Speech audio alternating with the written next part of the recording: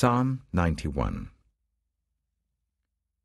Whoever dwells in the shelter of the Most High will rest in the shadow of the Almighty.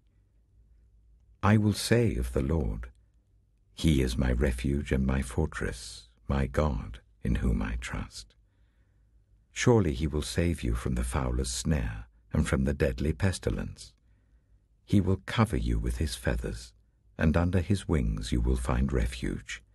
His faithfulness will be your shield and rampart.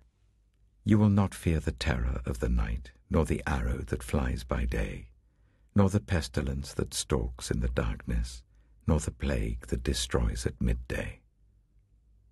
A thousand may fall at your side, ten thousand at your right hand, but it will not come near you. You will only observe with your eyes and see the punishment of the wicked. If you say, The Lord is my refuge, and you make the Most High your dwelling, no harm will overtake you, no disaster will come near your tent.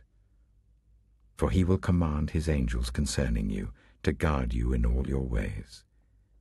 They will lift you up in their hands, so that you will not strike your foot against a stone.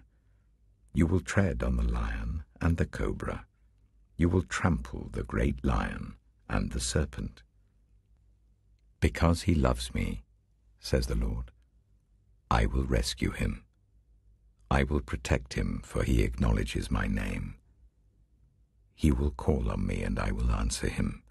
I will be with him in trouble. I will deliver him and honor him. With long life I will satisfy him and show him my salvation.